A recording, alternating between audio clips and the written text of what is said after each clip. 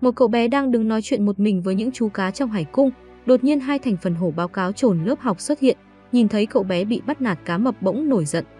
Nó hung hãn đâm vào từng kính, con cá mập này có vẻ đang rất kích động, cú đâm của nó khiến cho lớp kính nứt ra, đám người xung quanh nhìn thấy liền sợ hãi run cả vòi, bỗng cậu bé ấy giơ một tay lên.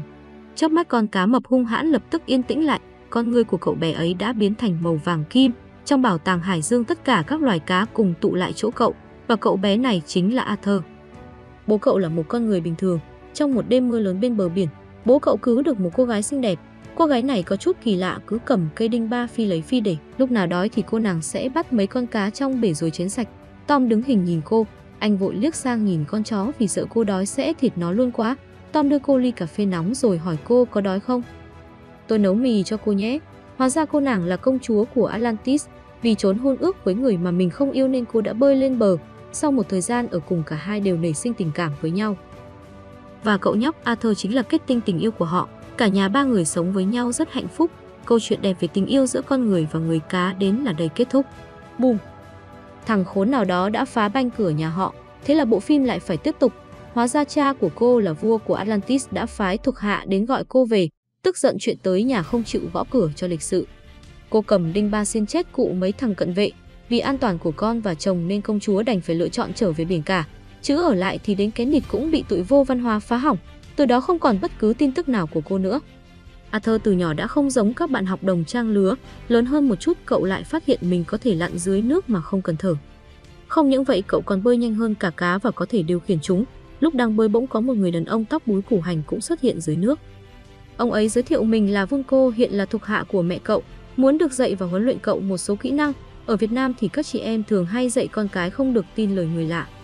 Arthur từ nhỏ đã rời xa vòng tay mẹ nên chúng ta có thể chấp nhận được. Từ đó ông chú trở thành thầy của cậu, chớp mắt cậu đã trưởng thành, hai người dùng cây đinh ba giao đấu với nhau. Lúc này cậu cũng đã đủ tuổi để đón nhận sự thật. Hóa ra sau khi mẹ cậu trở về biển sâu liền được gả cho vua Atlantis, sau đó hạ sinh ra một cậu con trai, không biết chim lợn ở đâu thông báo mà vua Atlantis đã phát hiện ra sự tồn tại của Arthur. Đức vua đã quyết định trừng phạt bà một cách nhẹ nhàng đó là nhốt bà lại rồi cho những con cá hung dữ nhất đại dương ăn thịt.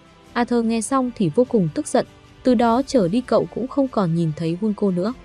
Mười năm sau, một nhóm hải tặc có ý đồ cướp tàu ngầm hạt nhân, kẻ cầm đầu chúng là một người đàn ông da đen, hắn vô cùng ác độc giết không ít người trên tàu, đột nhiên tàu ngầm bỗng chấn động. Một người đàn ông rất cường tráng nhẹ nhàng nâng chiếc tàu ngầm lên trên mặt nước, anh ta nhanh gọn hạ gục tất cả hải tặc rồi cứu thoát những thủy thủ đoàn. Không ngờ đó chính là Arthur, sau khi trưởng thành hơn một tí anh đã tha thu lên khắp người. Anh còn để tóc dài và một bộ râu đỉnh của chóp, vậy mới là râu chứ để râu như ông sếp tôi thể luôn nhìn phèn lắm. Arthur bây giờ không những có sức mạnh vô cùng lớn mà cơ thể của anh cũng rất cứng rắn, đao súng cũng không xuyên được ra thịt anh. Một tên không tin nên đã phóng lựu đạn thử, Arthur bay ngã về phía sau rồi sau đó anh đứng dậy nói thẳng tiếp theo nào. Những năm gần đây Arthur luôn cố gắng giúp đỡ những người bị hại trên biển. Vì vậy anh cũng có chút tiếng tăm ở đây, nhưng cũng có rất nhiều trẻ trâu không sợ mà đến tìm anh gây chuyện, điển hình là năm người đàn ông nhiều dâu này.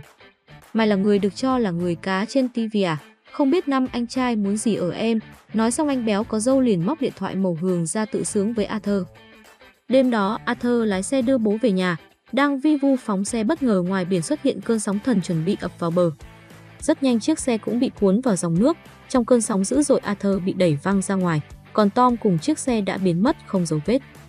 Arthur vô cùng lo lắng cho bố, anh tìm kiếm trong nước rất lâu, đến chỗ xoáy nước nguy hiểm thì thấy luồng ánh sáng xanh lóe lên. Một cô gái xinh đẹp xuất hiện rồi đi ra từ cơn sóng thần, cô ấy điều khiển dòng nước cuối cùng cũng tìm thấy chiếc xe và cứu được bố của Arthur. Cô gái này tự giới thiệu mình tên là Mira, mình tới từ biển sâu và hôm nay mình tới đây với hy vọng Arthur sẽ trở về biển sâu để đập chết mẹ thằng em cùng mẹ khác cha là Om. Sau đó lên ngôi vua và giải cứu thế giới, vì em trai cùng mẹ khác cha của anh đang tập hợp nhân lực với mưu đồ tấn công lên mặt đất. Dưới biển có rất nhiều người cá, bọn họ cũng từng sống trên mặt đất, nhưng vì Đức vua luôn muốn theo đuổi sức mạnh nên ông đã tạo ra một cây đinh ba bằng vàng, kết quả dẫn tới họa diệt vong. Vì thế mà họ bị biển cả nhấn chìm, đại lục Atlantis cũng chìm xuống đáy biển, kể từ đó họ chia thành bảy xứ, có người đã tiến hóa thì biến thành người cá, những kẻ không may mắn thì biến thành những quái vật biển kinh dị. Đến nay một số tộc người cá đã tụ hội lại chuẩn bị đánh lên mặt đất, vì trong những năm qua loài người trên mặt đất xả rác xuống lòng biển dẫn đến ô nhiễm nguồn nước, hệ sinh thái suy thoái khiến môi trường sinh sống của người cá cũng rơi vào nguy hiểm. Quốc vương mới là một người có dã tâm, hắn vẫy tay một cái là có thể tạo ra một trận sóng thần, bây giờ hắn đang tập hợp quân đội để thống nhất bảy xứ dưới biển. Sau đó tiêu diệt toàn bộ người trên mặt đất, sau khi biết được thằng em mất dạy dám tạo ra sóng thần, đã vậy còn muốn phá hủy chỗ của anh nó sống. Nên Arthur quyết định dạy cho nó một bài học đắt giá về cuộc đời. Để ngăn cản trận chiến này, Arthur đã đi tìm vương cô thương lượng. Ông ấy nói muốn cứu được cục diện này thì phải tìm ra cây đinh ba vàng. Nói xong ông đưa cho Arthur một hộp sắt, trong đó có bản đồ để tìm ra cây đinh ba vàng. Đột nhiên một đám binh sĩ người cá xông tới, bên địch người đông thế mạnh nên Arthur cuối cùng cũng bị bắt. Đến khi anh tỉnh lại thì nhìn thấy mặt người em trai cùng mẹ khác cha, giờ Om đã là vua Atlantis, hai người trao cho nhau ánh mắt chiều mến rồi kéo đi đánh nhau, họ đấu với nhau một trận long trời lở đất. Nhưng Arthur vốn là người sống trên mặt đất nên đánh nhau dưới biển sâu như thế này quả thật rất khó với anh. Không lâu sau anh đã bị đánh bại và cây đinh ba trong tay cũng bị gãy làm đôi. Đúng lúc nguy cấp Mera đã kịp tới nơi, cô cứu được Arthur rồi hai người nhanh chóng lái tàu rời đi. Để tăng thêm kịch tính cho bộ phim đạo diễn đã ra lệnh cho đám người cá truy đuổi. Chẳng mấy chốc con tàu cũng bị bắn rơi. Arthur nhanh trí sử dụng siêu năng lực điều khiển cá voi, sau đó trốn vào miệng nó tẩu thoát. Sau khi lên bờ cả hai dựa theo đường đi trong bản đồ đến sa mạc Sahara để tìm tung tích chiếc đinh ba vàng. Trong sa mạc họ tìm thấy di chỉ của bầy sứ Atlantis. Mera dùng giọt mồ hôi trên trán Arthur để kích hoạt cơ quan và họ tìm được một bản đồ mới. Dựa theo chỉ dẫn hai người đi tới Sicily, lần đầu được tới mặt đất Mera rất thích thế giới ngập tràn hoa cỏ này. Hai người vừa đi chơi vừa tìm kiếm, không mất quá nhiều thời gian Arthur lại tìm thấy tấm bản đồ mới.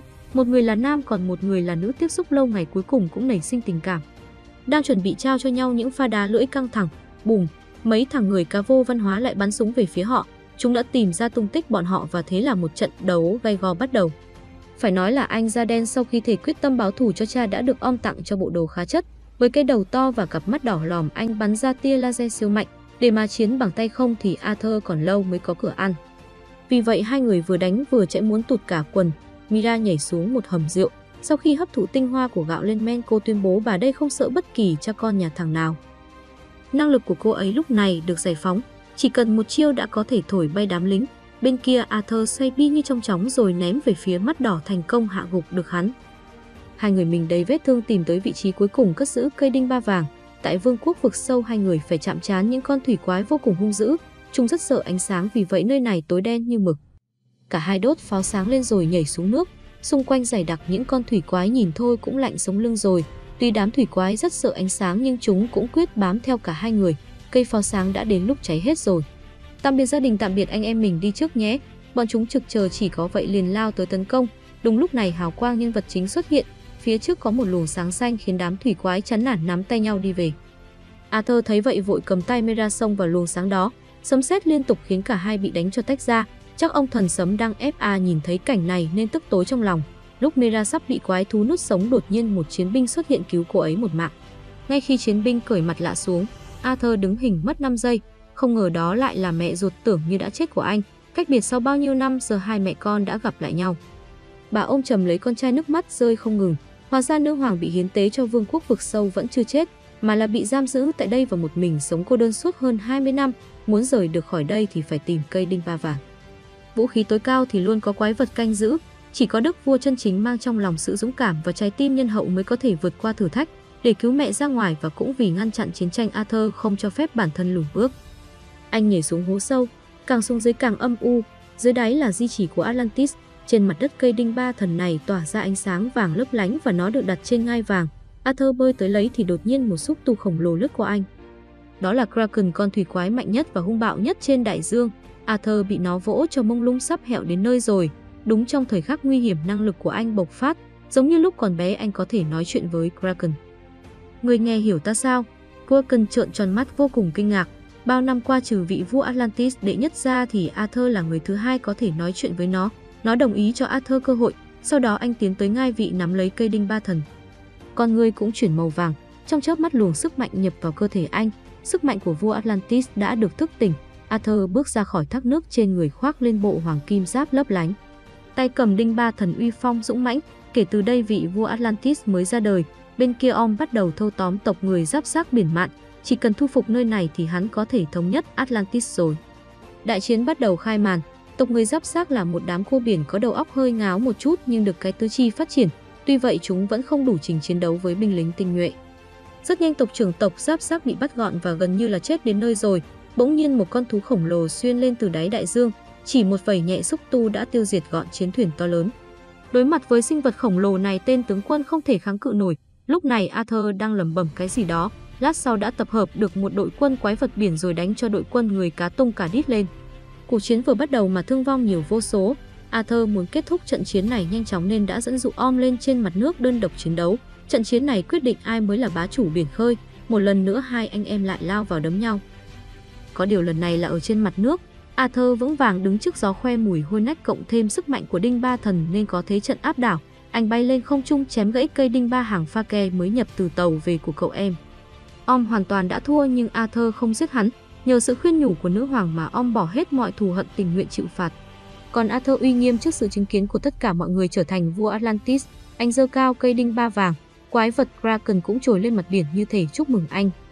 Vào một buổi sáng nọ khi những chú gà trống chưa kịp gáy, Tom như thường lệ đi tới bờ biển chờ đợi, cuối cùng ông ấy đã chờ được người mình yêu rồi, em về rồi đây anh ạ, lần này không có thằng khốn nạn nào dám tới phá cửa nhà mình nữa đâu. Và thế là họ sống hạnh phúc bên nhau cho đến khi đạo diễn bảo hết phim. Bộ phim về anh chàng người nước của chúng ta đến đây là kết thúc. Xin chào và hẹn gặp lại cả nhà vào clip tiếp theo.